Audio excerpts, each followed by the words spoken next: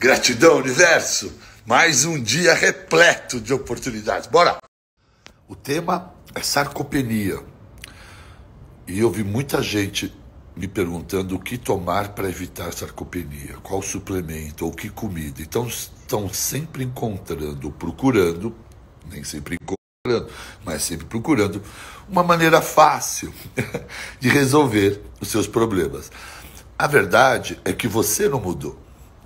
Você era uma vítima da indústria farmacêutica, porque médicos vestidos de branco, verdadeiros traficantes da indústria farmacêutica, prometiam milagres com remedinhos para vocês. Agora vocês não acreditam na indústria farmacêutica, mas querem suplementos. Vocês não mudaram.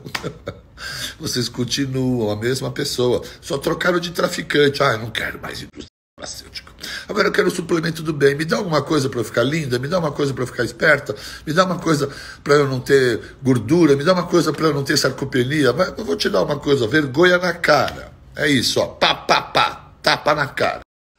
A sarcopenia em especial é um processo multifatorial, envelhecimento, descuido com o envelhecimento, má qualidade de sono, quedas dos hormônios, sedentarismo e inevitavelmente associado a algumas coisas que pode acelerar o, acama, o acamamento, e aí então há uma, dependendo da idade, do momento, da inflamação, há uma perda brutal de massa muscular. E inevitavelmente uma perda da densidade mineral óssea.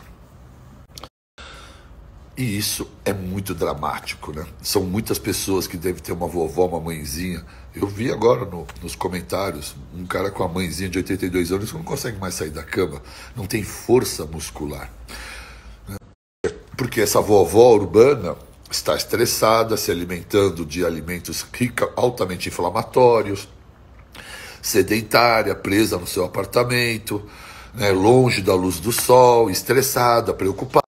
Né? A vovó urbana está preocupada com os filhos, com o neto, com a nora, com o enteado do outro, com o pai da outra que não vai aparecer no casamento. Ela morre de preocupações, se inflama, come, não sabe se é dia ou noite, dorme mal, alimenta mal e não se exercita. Sabe a vovó da roça?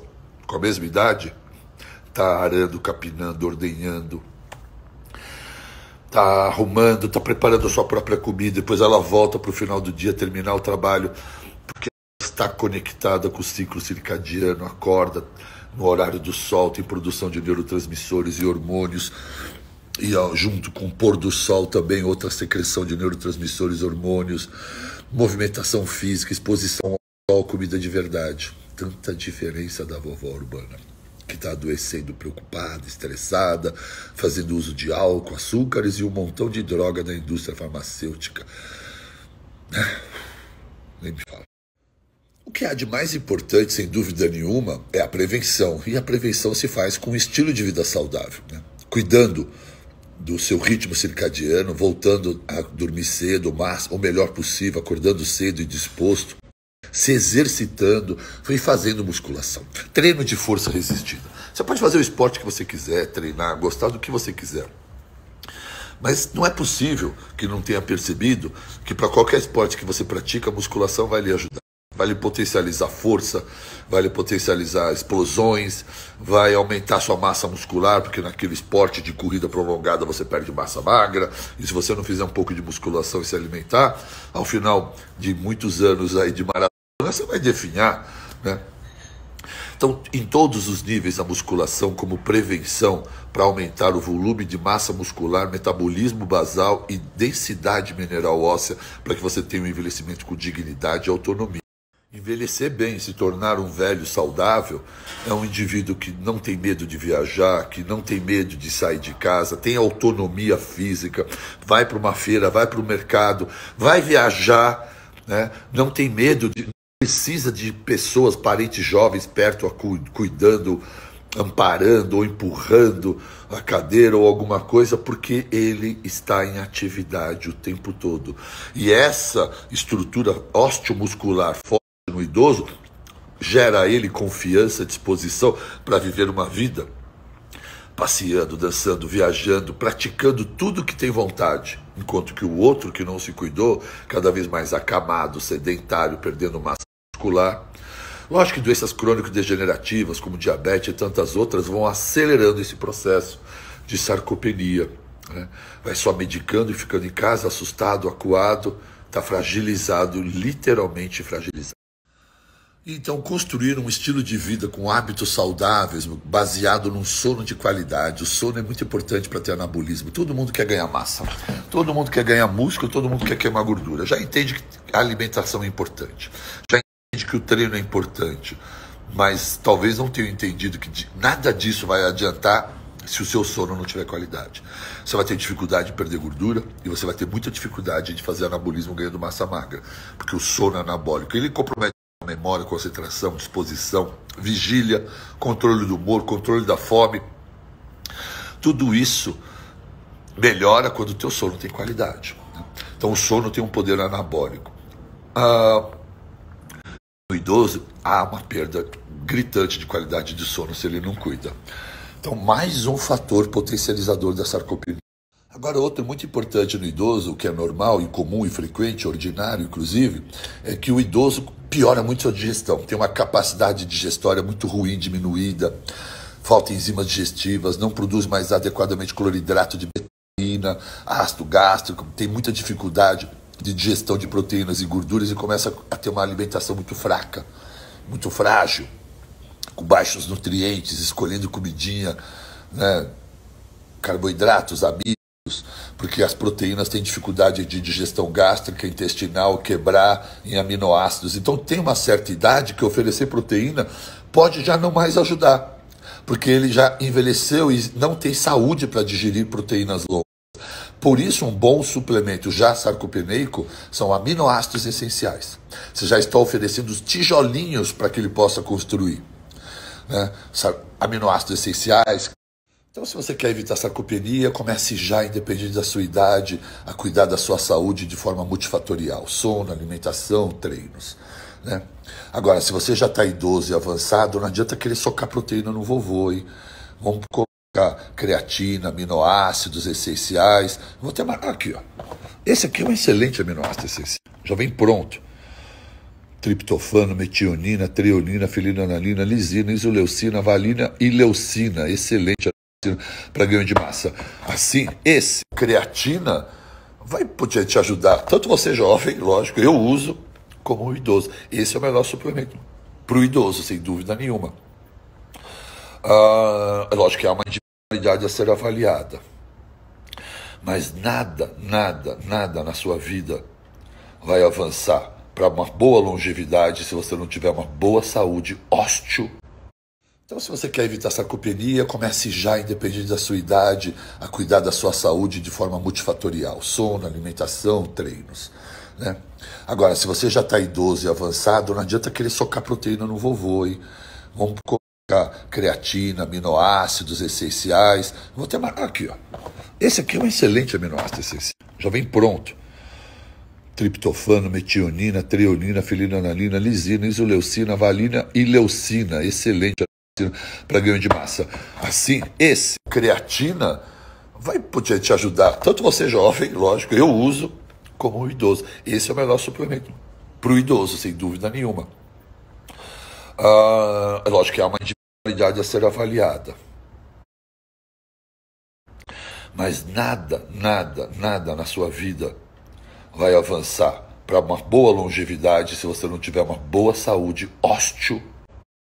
Bom, agora que eu expliquei para você que sarcopenia é muito mais uma, se resolve, se evita e se trata muito mais com estilo de vida do que qualquer coisa, agora eu vou falar um pouco dos suplementos que pode te ajudar, como eu mencionei, tá bom? Mas, de novo, suplemento não vai reverter nada, ele vai potencializar a, a sua mudança comportamental. Você precisa fazer treino de força precisa fazer um treino com peso resistido. Pode ser um bom funcional, pode ser musculação, pode ser crossfit. Pilates sem mimimi, né? Esse pilatezinho, só se você fizer o pilates de um jeitinho, como bailarina, só esticando o pezinho, pode ser até lúdico, mas não vai melhorar só só a sarcopenia. Mas se você puser carga e fizer força, bem treinado e bem orientado por uma educadora, até o pilates pode te ajudar, especialmente no dorsal, né? Por isso que é importante agachar, é importante tremer as pernocas e aumenta a densidade mineral dos ossos, né? Tem que agachar, tem que fazer alguma coisa com o agachamento, nem que seja levantar e sentar da cadeira. Isso vai ajudar demais a sua vida a melhorar em qualidade. Uma pessoa que não treina, baixa a força muscular, se ela começa. Porque o que é importante no envelhecimento? Não adianta botar um velhinho na esteira para ficar correndo, ele precisa levantar rápido. Precisa ter força. Precisa sentar num vaso sanitário, não tem que chamar alguém para ajudar. Precisa sentar no sofá de uma de alguém que não conhece, dar aquela fundada no sofá e não tem que ficar se arrastando para a ponta do sofá para levantar, para poder pegar compras, colocar num porta-mala, pegar uma malinha, colocar num bagageiro e ter autonomia e uma qualidade de vida. E é isso que dignidade para o envelhecimento, né? Não depender das pessoas. Para isso é importante ter músculo e osso forte, duro de roer. E só é possível isso se você tiver um estilo de vida para cultivar esse envelhecimento. Tem que começar agora. Esses são os aminoácidos essenciais que tanto o atleta, mas todos os jovens podem, de uma outra maneira, obter as proteínas. Idoso sarcopenico não tem outra opção melhor do que essa. Assim como bariátricos também, tá? Aminoácidos essenciais. Lógico que você, como atleta, amador e de alta performance, vai ter todos os benefícios. Mas já que o tema é sarcopenia, essa é a melhor indicação para obter uma resposta muscular. Uma creatina monoidratada é fundamental. Eu gosto dessa da Aptogen, mas qualquer boa creatina monoidratada vai trazer um excelente resultado. Todo idoso já tem um intestino. Não precisa ser idoso para ter intestino ruim, né? Tá todo mundo com intestino ruim.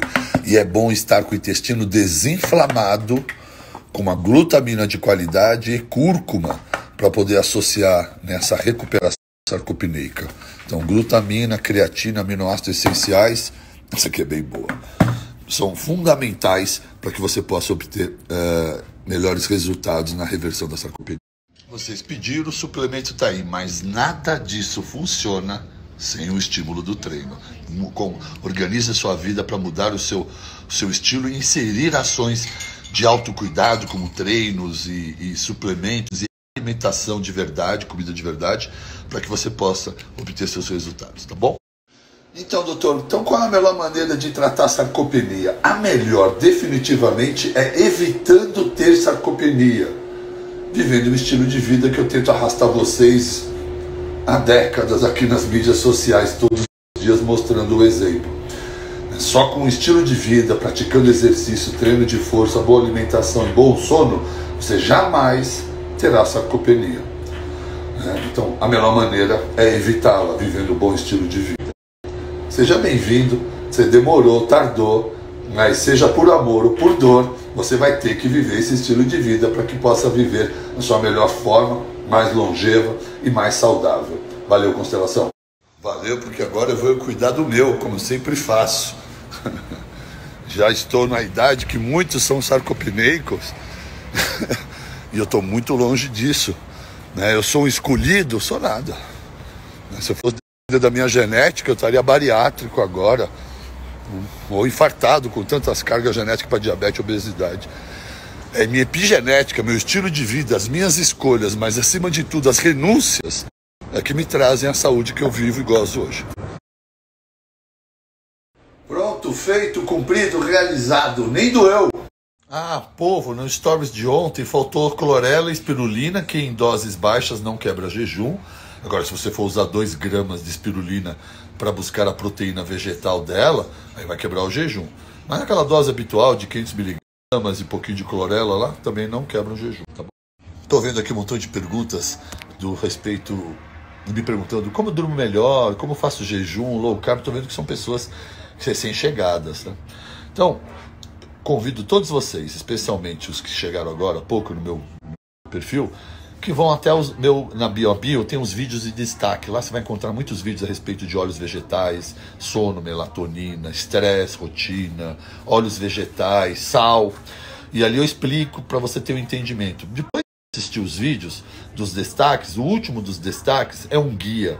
É um guia para te levar aos meus posts Uh, através de uma guia, de um guia que é uma hashtag. Então, você quer assunto a respeito de low carb, você vai digitar uma hashtag Hashtag DRBaracate Low Carb. Todos os meus posts low carb. Hashtag DRBaracate Melatonina, o sono, que você vai encontrar todos os posts sobre sono. E assim você consegue navegar nos destaques e nas minhas hashtags e ter um conhecimento sobre todos esses temas. E aí então você vai poder, tirando as dúvidas uh, iniciais, poder começar a fazer perguntas mais aprofundadas e eu poder te ajudar. Seja bem-vindo ao meu perfil, corre lá no destaque, faz uma navegada, estou aqui à sua disposição.